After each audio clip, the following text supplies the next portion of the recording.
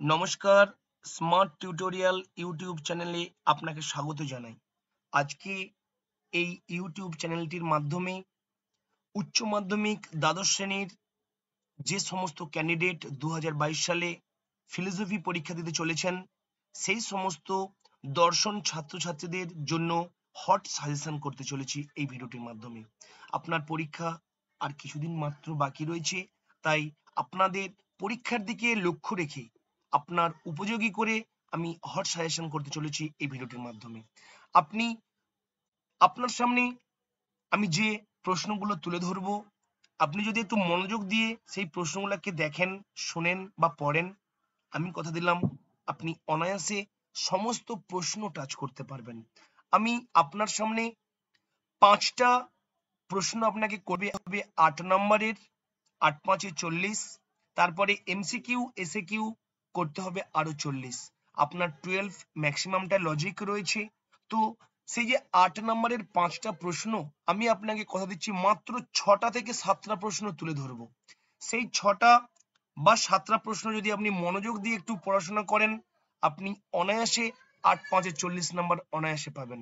সর্বোপরি আপনার বাকি রইল আর চল্লিশ নাম্বার যেখানে এমসিকিউ এসে কিউ রয়েছে, সেটা পথ। তারপরে বলব, তারপরে রয়েছে কুড়ি নাম্বার আপনার যেটা হচ্ছে প্রজেক্ট যাকে বলা হয় প্রকল্প, সেই প্রজেক্ট আপনি ভালো করে একটু স্যার স্কুলে যে স্যার বা ম্যাডাম থাকবেন ওনার কথা শুনে চললে আপনি কুড়ির কুড়ি পাচ্ছেন।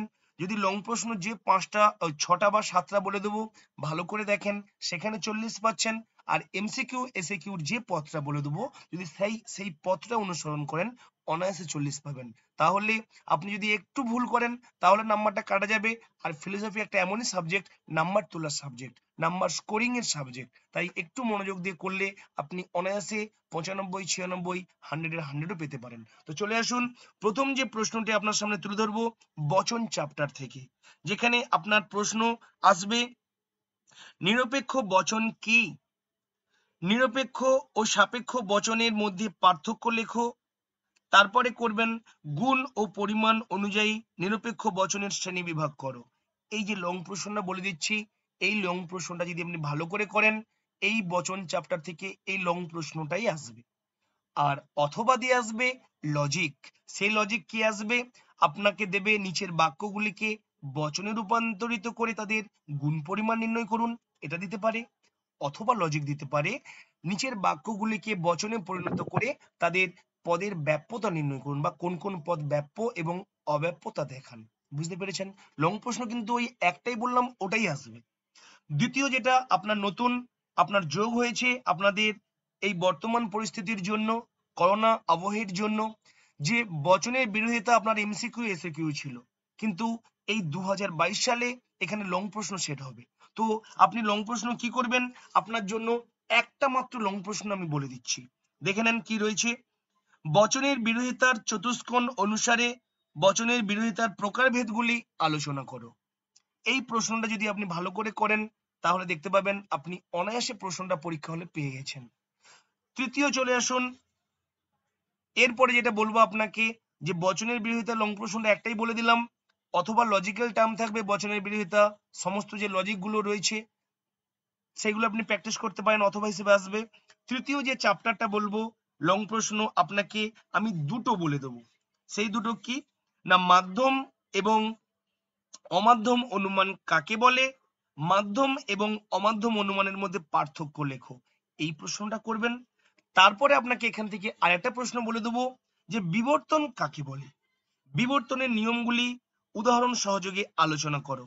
এর সঙ্গে যুক্ত হতে পারে বস্তুগত বিবর্তন সম্পর্কে যা যেন লেখো। বা বস্তুগত বিবর্তনকে কি প্রকৃত বিবর্তন বলা যায়? লেখো।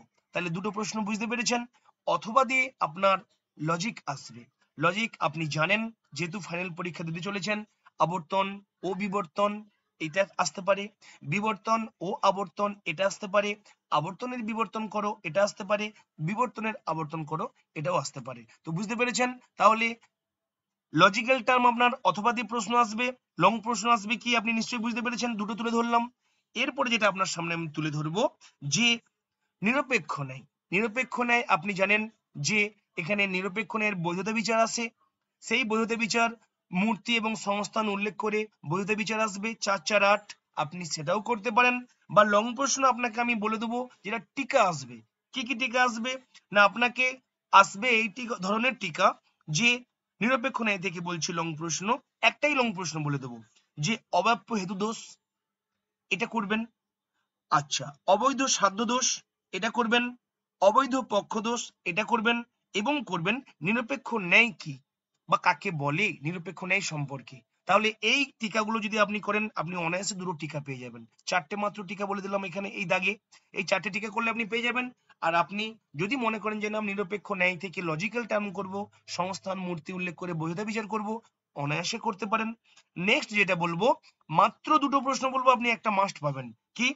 না, মিলের যে পদ্ধতি, আপনি জানেন, মিলের পদ্ধতি রয়েছে অনেকগুলো, পাঁচটা পদ্ধতি রয়েছে। অন্যই পদ্ধতি, ব্যতিরিকী পদ্ধতি সহ পরিবর্তন পদ্ধতি, অন্যই ব্যতিরিকী পদ্ধতি এবং পরিশেষ পদ্ধতি। আমি আপনার সামনে দুটো পদ্ধতি তুলে ধরবো। এই দুটো পদ্ধতি ভালো করে করলে আপনি অনায়াসে একটা প্রশ্ন পেয়ে যাবেন। প্রথম পদ্ধতি হলো মিলের ব্যতিরিকী পদ্ধতি সম্পর্কে আলোচনা করো। দ্বিতীয় প্রশ্ন বলব মিল- মিলের পদ্ধতি থেকে যে মিলের সহপরিবর্তন পদ্ধতিটি আলোচনা করো। তাহলে এই যে ছটা বা সাতটা লং প্রশ্ন বললাম, যদি আপনি একটু গুরুত্ব দিয়ে দেখেন, আমি আপনাকে কথা দিচ্ছি, হান্ড্রেড পার্সেন্ট প্রশ্ন পেয়ে যাবেন। এবারে চলে আসুন যে লজিক্যাল টার্মটা কি করবেন? আপনি সারা বছর ধরে যে সমস্ত লজিকগুলো প্র্যাকটিস করেছেন, সেই লজিক গুলোই ভালো করে করুন। এই ভিডিওটি নিচে দেখবেন, অনেক লজিক আপনাকে দেখানো হয়েছে। আপনার যে সিলেবাস চ্যাপ্টার ওয়াইজ প্রত্যেকটা লজিক নিচে লিংক দিয়েছি, আপনি দেখে নেবেন। সর্বোপরি এরপর যেটা আপনাকে বলব, আপনার এমসিকিউ এসিকিউ আমি এই ভিডিওটির নিচে এমসিকিউ এবং এসিকিউ ইম্পর্টেন্ট ইম্পর্টেন্ট কয়েকটার লিংক দিয়েছি। যে লিংকে আপনি ক্লিক করলে দেখতে পাবেন যে বিগত বছরে দু হাজার কুড়িতে পরীক্ষা হয়েছে, আপনি জানেন ফিলোসফি পরীক্ষা, সংস্কৃত জিওগ্রাফি দুটো হয়নি। কুড়িতে পড়েছে, উনিশে পড়েছে, আঠেরোই পড়েছে বিগত বছর। এসেছে এসেছে আপনার বেলাতেও আসবে। সেরকম ইম্পর্টেন্ট লিংক দিয়ে রেখেছি এই ভিডিওটি নিচে আপনি সেখানে ক্লিক করে দেখে নিতে পারেন। তো এই ছিল আজকে আপনার উপযোগী করে হট সাজেশন ফিলোসফির যদি এই শিক্ষণীয় like like like like like like like like like like এবং ভুলবেন ভুলবেন ভুলবেন না। আপনার লাইক লাইক আমাকে শিক্ষণীয় ভিডিও তৈরি করতে অনেক অনেক উৎসাহ দেবে। আর সর্বোপরি যদি এখনও আপনি আমাদের ছোট পরিবারের সদস্য না হয়ে থাকেন প্লিজ চ্যানেলটিকে সাবস্ক্রাইব করে আমাদের ছোট্ট পরিবারের সদস্য হয়ে উঠুন। Thank you